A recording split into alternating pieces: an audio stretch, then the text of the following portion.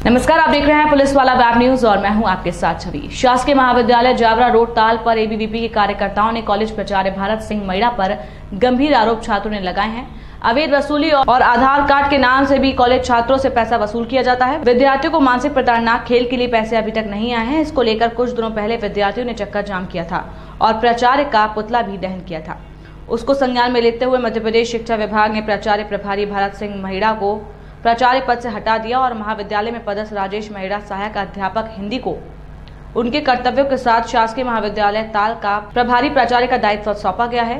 राजेश महिड़ा ने जानकारी देते हुए बताया है कि 27 जनवरी को कार्यालय आयुक्त उच्च शिक्षा मध्य प्रदेश, सतपुड़ा भवन, भोपाल द्वारा आदेश क्रमांक एक सौ चौसठ बटा इक्यानवे अपर आयुक्त उच्च शिक्षा मंडल द्वारा डॉक्टर सुनील मंडेरिया, विशेष कर्तव्य अधिकारी उच्च शिक्षा मध्य प्रदेश का एक लेटर प्राप्त हुआ। उसमें वर्तमान प्राचार्य महोदय को पद से हटाकर मुझे प्रभारी प्राचार्य का चार्ज दिया गया है। भारत सिंह महिला के ऊपर जो बच्चों ने जो गंभीर आरोप लगाए थे इसकी जाँच कहाँ तक पहुँची है और उनको कब तक मुक्त किया गया है?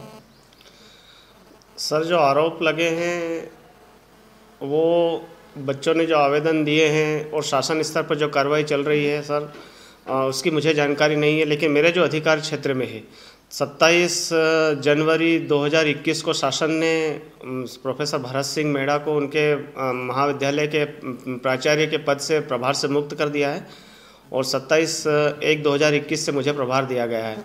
तो आदेश के परिपालन में मैंने एक फरवरी 2021 को शासकीय महाविद्यालय ताल के प्राचार्य का प्रभार संभाल लिया है। सर वो क्या अभी इसी कॉलेज में पे वो असिस्टेंट प्रोफेसर के दायित्व पर हैं अभी यहाँ पर।